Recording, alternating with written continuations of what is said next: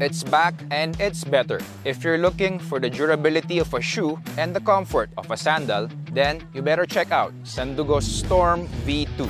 The Storm V2 is back and it's been redesigned to take on more challenges. So this is perfect para sa mga naghahanap ng adventure dyan. It's uh, part shoe and part sandal. Bilang part shoe, you can see that it provides good coverage sa paa nyo. And having the qualities of a sandal, it's uh, lightweight, tapos madali din siyang isuot. Then you can see sa ilalim, provides grip. And then yung, yung material niya is made of rubber. So for one, hindi kailangan problemahin yung mga river crossings. So okay lang siyang mabasa. And then you can see here, there's also a Velcro. Pwede nyo i-adjust for a snug fit. Merong how to size your foot video ang Sandugo that can help you get the correct size for you. After you see that, pwede nyo i-check sa Sandugo website para makuha nyo ang tamang size ng paa nyo. Redesigned for an even better performance, ready na ang Storm V2 for more adventures.